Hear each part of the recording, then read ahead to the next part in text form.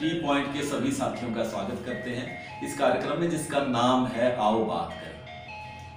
हम बातें करते हैं ऐसे कलाकारों से, ऐसे गायकों से, ऐसे संगीतकारों से, और भी जितने भी कला के क्षेत्र हैं, हम सबसे बात करते हैं, क्योंकि हमारा ये मानना है, हमारा ये विश्वास है कि बात करेंगे तो बात बनेगी।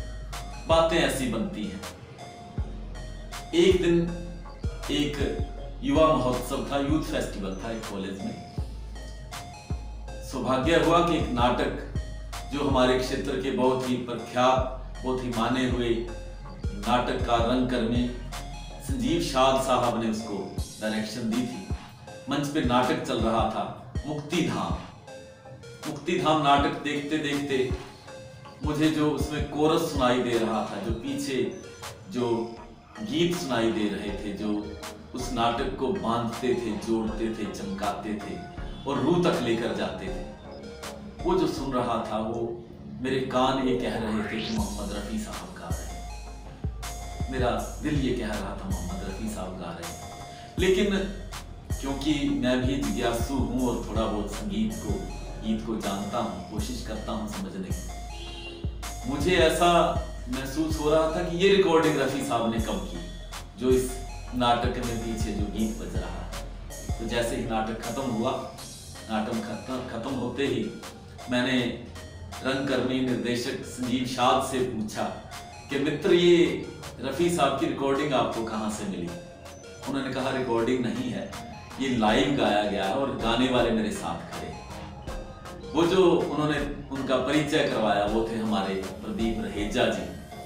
मैं हैरान था और मैं बहुत शत प्रतिशत उन पर विश्वास नहीं कर पा रहा था, क्योंकि मुझे लगता था कि मैं रफ़ी साहब को बहुत अच्छी तरह से जानता हूँ, उनकी आवाज़ को पहचानता हूँ, लेकिन मैं गलत था, वो ठीक थे। वो गायक प्रदीप रहेजा थे। तो मित्रों, आज आपको हम मिलवाते हैं उन्हीं गायक से, प्रदीप रहेजा जी। तो ये है हमारे प्रदीप रहेजा जी, आपका स्वागत है हमारे channel T point. Raheja ji ऐसे आशिक हैं, ऐसे मानने वाले हैं मोहम्मद रफ़ी साहब को। इतना प्यार करते हैं इतनी मोहब्बत करते हैं उनकी गायकी से। वो जानते हैं उनकी इबादत की तरह से वो रफ़ी साहब को मानते हैं और जब वो गाते हैं तो ऐसा लगता है कि रफ़ी साहब ही गा रहे हैं। प्रदीप जी आपका बहुत बहुत स्वागत करते हैं। आ, ये माजरा क्या हुआ? पहली बात तो जी मैं रफ़ी साहब नहीं हूँ क्योंकि ये मेरा सौभाग्य है कि उनको सुन सुन के मैंने गाना सीखा। क्या बात है? तो मेरा नाम उनके साथ जोड़ना एक राई और पहाड़ जैसी बात है। वो हिमालय पर्वत हैं और मैं राई की मिट्टी। मेरी औकात नहीं है कि मैं उनकी बराबरी करूँ। ये मेरा सौभाग्य है कि मैं बचपन से उनको सुनता आ रहा हूँ। तो मेरे करीब दस बारह साल एज होगी जब उनकी डेथ हो गई थी। तो बचपन से ही सुन सुन के उनको मैंने गाना सीखा। और लोग कह देते हैं, रफ़ी साहब, लेकिन मैं उनकी बराबरी नहीं कर सकता। तो ये मैं अपना सौभाग्य समझूं कि मेरे को गाने का मौका मिला। ऐसा लोग मतलब कमेंट देते हैं मेरे को तो मेरे को अच्छा लगता है। अगर लोग ये समझते हैं कि उनसे आपकी कुछ आवाज़ मिलती है और उनको, जो उनकी रूह तक जो पहुँचना चाहता है उनके गीतों तक। तो वो अगर थोड़ा बहुत भी पहुँच पाता है तो आपको लगता है कि आपकी कामयाबी है ये बहुत बड़ी कामयाबी मेरा सवाल है। तो ये गाने का सिलसिला प्रदीप कब से शुरू हुआ? गाने का सिलसिला ऐसा है जी बचपन में हम गाँव में रामलीला स्टेज पे अक्सर थोड़ा बहुत गाया करते थे। तो ये सिलसिला चलता रहा। तो फिर मैंने प्रोफेसर बख्शी जी हैं उनसे संगीत की शिक्षा ली। तो शिक्षा लेते लेते आगे संगीतकारों से मिलते हुए तो जो मेरे को स्टेज ब्रेक दिया गया mister Raj Verma ji mister Tulsi Anupam ji mister Murari Verma ji ये सब लोग हैं जो मेरे को स्टेज तक लेके आए। उसके बाद ये स्टेज का सिलसिला जारी था। यानी बख्शी राम जी ने आपको बनाया और बाकी साथी ने तराशा और तराश करके प्रस्तुत कर दिया मंच पे बहुत सपोर्ट किया मेरे हैं जो आप काम कर रहे हैं। क्या लगता है? ये इससे क्या मिलता है? इससे ये मिलता है कि परमात्मा से सीधा मिलन।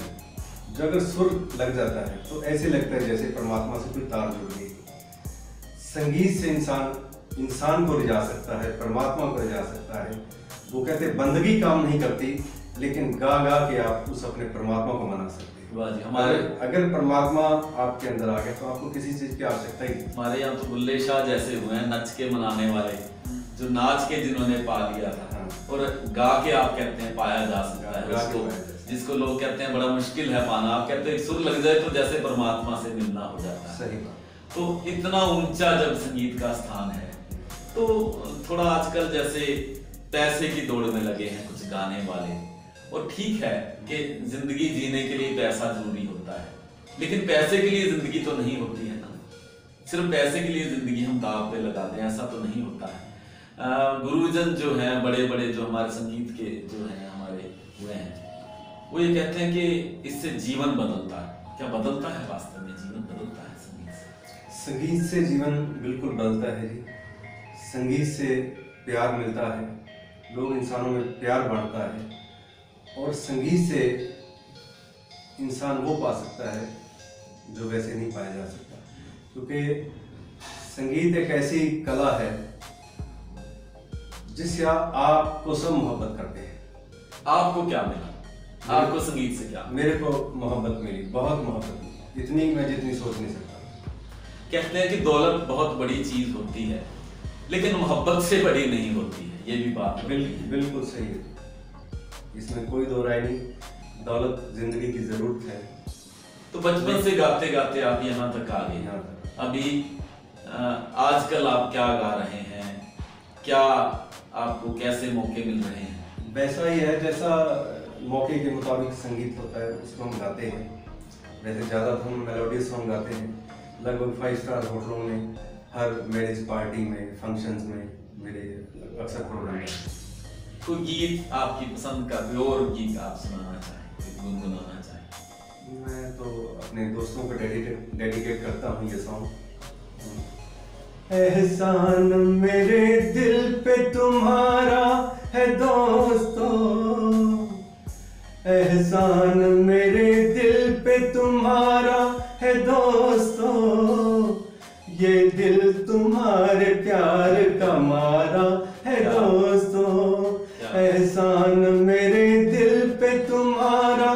दोस्तों, ये दिल तुम्हारे प्यार का मारा है दोस्तों। बनता है मेरा काम तुम्हारे ही काम से। होता है मेरा नाम तुम्हारे ही नाम से।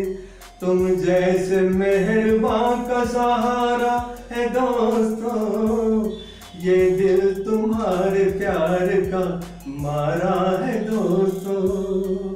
कहाँ तक जाना चाहते हैं? मंजिल क्या है? मकसद क्या है?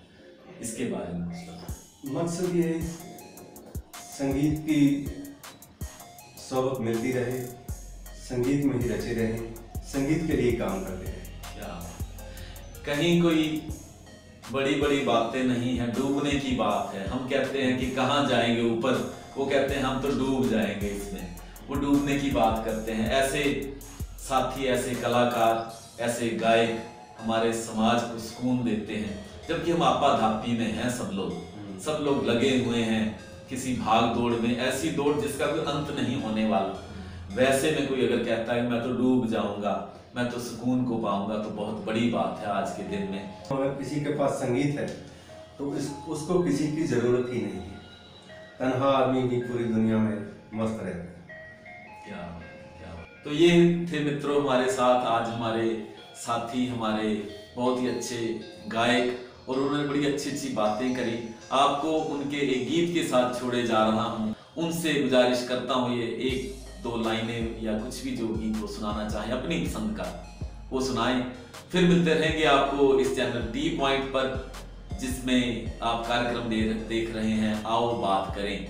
किस लिए बात करें? क्योंकि बात करेंगे तो बात बनेगी। रात है प्यासे प्यासे। ये रात है प्यासे प्यासे। प्यासे ना गुजर जाए, तुम बाहों में आ जाओ।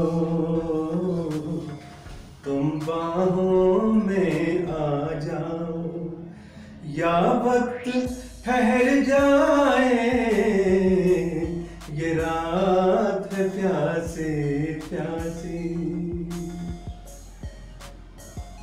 कई रंग देखे तुम्हारे लबों में, कहो तो कोई हम चुरा ले। जरा शौक कर ले ये सादा सजीवन जीवन ये पल के उठाओ, ये नज़रें मिलाओ, के दुनिया संवर जाए। ये रात प्यासे प्यासे